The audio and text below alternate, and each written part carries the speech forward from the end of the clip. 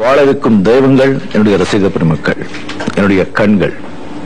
இந்த அரசியலுங்கிற ஒரு ஆயுதம் ஒரு விஷ ஆயுதம் நமக்குள்ள வந்து சென்டர் வந்துடக்கூடாது. நான் உங்களை இழக்க தயாரா இல்லை. இதை நீங்கள் ஜாக்கிரதையா இருங்க. ஜெயலலிதா அவர்கள் வந்து என்னை பத்தி கேட்டிருக்காங்க. கருப்பு பணம் வாங்கவே இல்லையா? இவரு நான் கருப்பு பணம் வாங்கவே இல்லை அப்படின்னு சொன்னா நான் போய் சொல்றேன். நான் கருப்பு பணம் வாங்கியிருக்கேன். 95% ஃபைவ் பர்சன்ட் இருக்கும்போது டுவெண்ட்டி இயர்ஸ் டுவெண்ட்டி இயர்ஸ் முன்னால நான் அது வாங்கியிருக்கேன். ஓரளவுக்கு தான் வாங்கியிருக்கேன். அதுக்கப்புறம் எனக்கு புத்தி வந்த பிறகு நான் கம்மி பண்ணேன். அது sixty five percent thirty five percent Rajiv Gandhi Chidambaram எல்லாம் சேர்ந்து தேர்ட்டி ஃபைவ் பர்சன்ட் எல்லாம் பண்ண பிறகு டெஃபினெட்லி கிடையாது.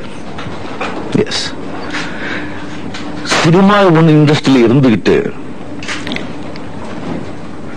சினிமா இண்டஸ்ட்ரி பத்தி தெரிஞ்சிருந்து இந்த கருப்பு பணத்தை பத்தி அந்த கேள்வி எழுப்பிருக்காங்க ஜெயலலிதா செல்வி ஜெயலலிதா அவர்கள். இதனால இவ்வளவு கீழ்த்தனமா அவர் வந்து போயிட்டு இருக்காருன்னு சொன்னா இந்த மாதிரி ஒருத்தர் வந்து இவ்வளவு பெரிய ஒரு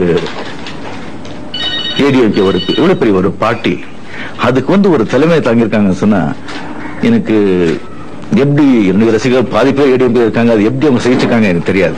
அண்ட் ஃபெரா நோ எந்த கேஸும் கிடையாது இப்போ கூட the highest taxpayer in cinema industry among artists is the only Rajnikant. The record is there in income tax department. She can refer it.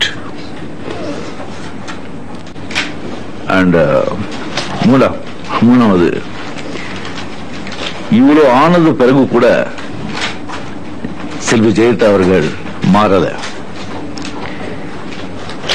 இப்போ மாறாதவர் நான் இப்போ சொல்றேன். இனிமே அவங்க வாழ்க்கையில மாற மாட்டாங்க.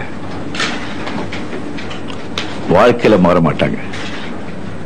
முதல்ல அவங்களுக்கு பணம் வரி இருந்தது. அது முடிஞ்ச பிறகு இப்போ பழி வரி வந்திருக்கு. அது தமிழ் ஜனங்களுக்கு நல்லா தெரியும். அவங்க நினைக்கிறது வந்து நடக்காது.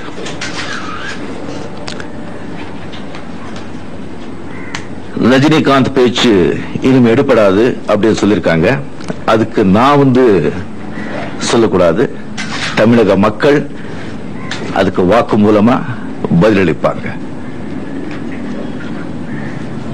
இந்த கூட்டணி வெற்றி அடையுமா அப்படின்னு நீங்க கேட்கலாம். டெபினட்டா வெற்றி அடையும். தோழமை கட்சியோட பலத்தால ஒரு மூணு நாலு இடம் மேக்சிமம் நாலஞ்சு இடம். அவ்வளவுதான் வந்து இழுக்கலாமே வழியா டெஃபினெட்லி மிகப்பெரிய வெற்றி அடையும். அதுல வந்து எந்த சந்தேகமும் கிடையாது. நன்றி. வேற ஏதாவது கேள்வி இருக்கா? நீங்க ரொம்ப மதிக்கிற அத்வானியை வந்து எதிர்க்கிற கூட்டு எஸ் அத்வானி அவர்கள் வந்து என்னுடைய நண்பர் அப்படி சொல்லிக்கிறதுக்கு நான் பெருமைப்படுறேன். நான் ரொம்ப பெருமைப்படுறேன் ஜஸ்ட் ஒரு ரெண்டு மூணு சீட்டுக்காக வந்து இந்த ஜெயலலிதா அம்மா அவர்களுடைய பேக்ரவுண்டில் தெரிஞ்சிருந்து அவங்க கூட கூட்டணி வச்சுட்டது டெஃபினெட்லி எனக்கு வந்து அவங்க மேல இருந்த ஒரு மரியாதை கொஞ்சம் கம்மியாயிருக்கு. நன்றி